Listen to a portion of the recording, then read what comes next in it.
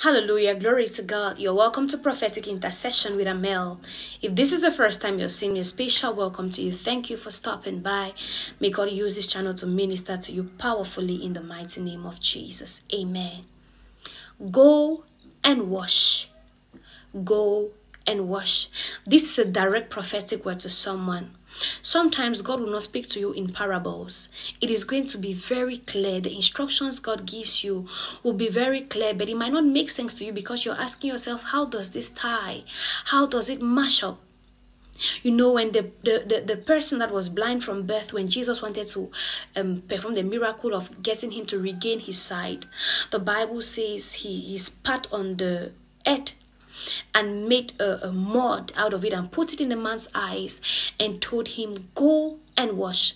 His miracle was dependent on his obedience.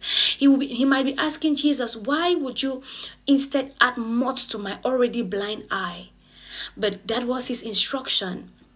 And immediately he did that. He got well. Another person in the Bible is Naaman. He was leprous. And the only way the prophet told him, go and wash in this specific river.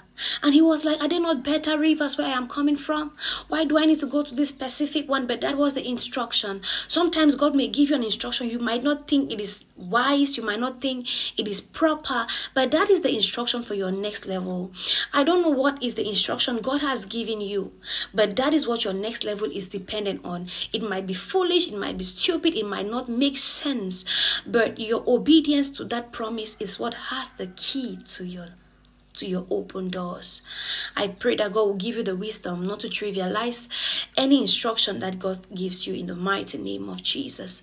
May the Lord bless you and keep you, cause his face to shine upon you. May he be gracious to you and give you peace in Jesus' mighty name. Amen.